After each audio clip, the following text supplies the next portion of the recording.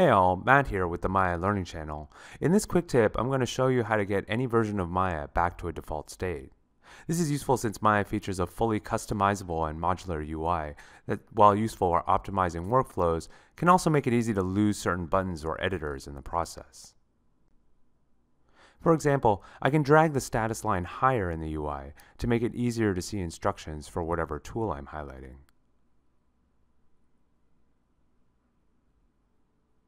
It's also possible to completely remove UI elements using this process, which is handy to tidy up UI space of things I don't need right now.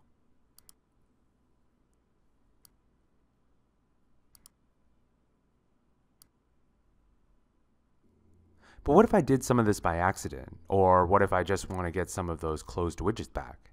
Well, the easiest way is to go up here to the workspace dropdown, where I can choose to reset the current workspace. This returns everything back to the defaults.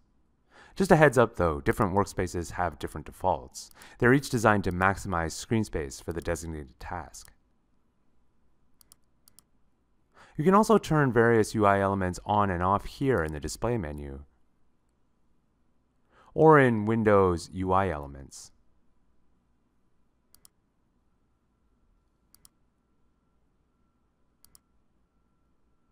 Occasionally, you may need a more complete Maya reset. This might be necessary if you're experiencing odd behavior in Maya's tools, or if you changed a setting that you forgot about and is now negatively affecting your workflow.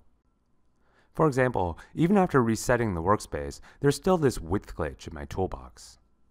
When things like this go wrong, you can use a process called deleting your preferences to return Maya back to a state it started in when you first installed it.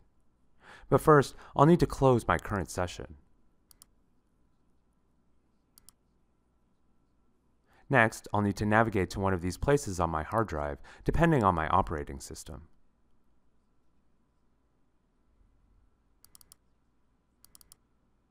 Once here, I can either delete this prefs folder or even just rename it if I think I can figure out the problem later. Then I'll restart Maya and choose to create default preferences.